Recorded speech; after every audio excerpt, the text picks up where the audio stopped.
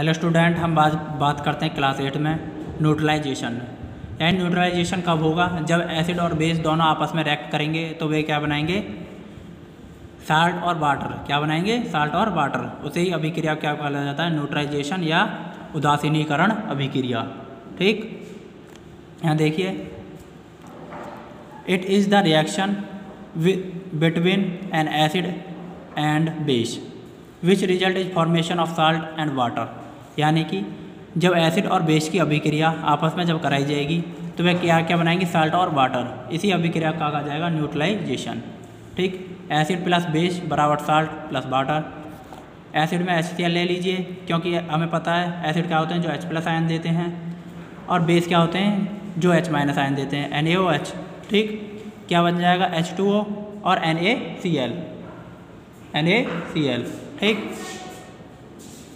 N A C L अब बात करते हैं न्यूट्रलाइजेशन इन एवरीडे लाइफ। यानी कि जो हमारे जीवन में जो उदासीनीकरण और अभिक्रियाएँ होती हैं, एवरीडे उन्हें देखते हैं। पहला, इंडिजेक्शन। ठीक? इंडिजेक्शन यानी कि खट्टी खट्टी जब डकार आती हैं, उन्हें बोलते हैं इंडिजेक्शन। ठीक? इंडिजेक्शन का मतलब क्या होती है? खट्टी खट्टी जब डकारें आती हैं, उन्हें बोला जाता है इंडिजेक्शन। क्लियर? देख लिए? जब too much acid in stomach जब हमारे पेट में ज़्यादा स्टोमच पहुँच जाता तो उसके कारण क्या होता है? इंडिजेक्शन ठीक? इंडिजेक्शन अभिक्रिया. तो जब हम ज़्यादा एसिड पहुँच जाएगा तो हमें क्या आती हैं? डकारें आती हैं. क्या आती हैं? डकारें. उसी अभिक्रिया क्या बोल, उसी को क्या बोला जाता है? इंडिजेक्शन नंबर दो पर आंट स्टिंग क्या बोलते हैं? आंट स्टिंग जब चींटी काटती है तो चींटी काटने के में क्या होता है? न्यूट्रलाइजेशन क्या होता है? न्यूट्रलाइजेशन आंट स्टिंग यानी कि वहन एंड आंट बीट्स यानी कि जब हमें चींटी काटती है इट इंजेक्ट यानी कि फॉर्मिक एसिड जो formic acid into into the skin जो क्या हो जाता है, जो फॉर्मिक एसिड होता है, वह क्या हो जाता है स्किन में चला जाता है. The effect in neutralised by the rubbing most baking soda यानी कि किसमें आ जाता है, ये बेकिंग सोडा में बदल जाता है. जब चींटी जो काटती है तो हमारे क्या चला जाता है, हमारे इंजेक्ट हो जाता है, क्या? फॉर्मिक एसिड क्या होता है? फॉर्मिक एसिड चींटी काटने में कौन सा एसिड होता है? फॉर्मिक एसिड जो हमारे शरीर में जाकर किसमें बदल जाता है ये? बेकिंग सोडा में. किसमें आ जाता है? बेकिंग सोडा में. ठीक? जिस, जिसके कारण भी क्या होता है? न्यूट्रलाइजेशन सेकंड पॉइंट बात करते हैं सॉइल यानी कि ट्रीटमेंट ट्रीटमेंट यानी कि सॉइल यानी कि मिट्टी का ट्रीटमेंट ठीक? When the soil is too acid यानी कि जब सॉइल में क्या हो? ज़्यादा एसिड हो. It is a neutralised by the treating with quicklime. किसके द्वारा? क्यूक्लाइन के द्वारा। हम किसके द्वारा क्या करते हैं उसे? क्यूक्लाइन के द्वारा करते हैं। ठीक?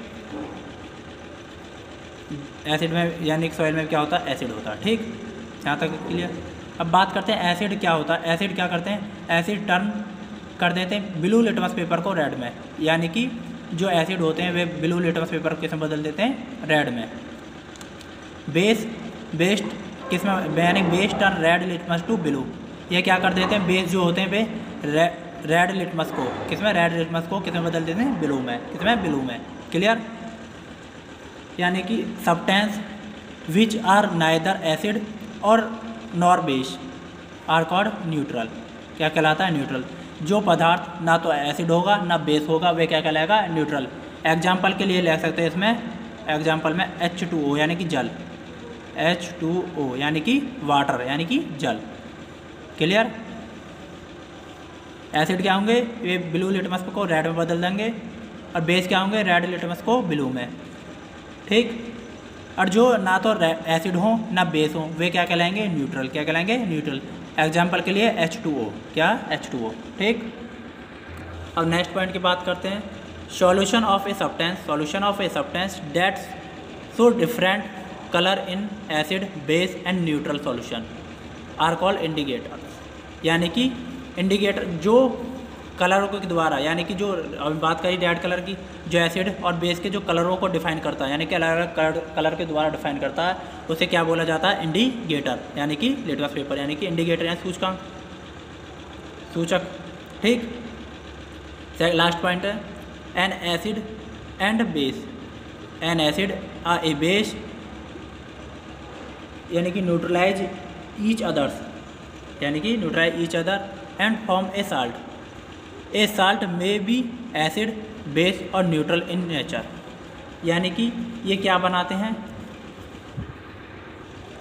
जब एसिड और बेस आपस में क्लियर करते हैं तो ये क्या बनाते हैं? साल्ट बनाते हैं और वाटर क्या बनाते हैं वाटर ये साल्ट एसिड भी हो सकता है बेस भी हो सकता है और न्यूट्रल भी हो सकता है, प्रकृति में, किसमें? नेचर यानी प्रकृति में. क्लियर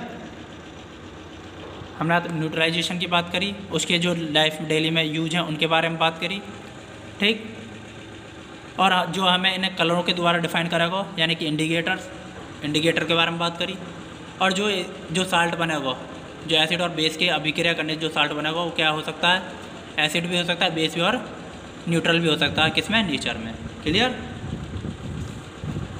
ये बात सी जाए यहाँ के एसिड और बेस के बारे में पढ़ा कि जो रेड लिटमस को रेड यानी ब्लू टू रेड और रेड टू ब्लू यानी कि एसिड और बेस के बारे में भी हमने यहाँ पढ़ा। ठीक? Clear okay thank you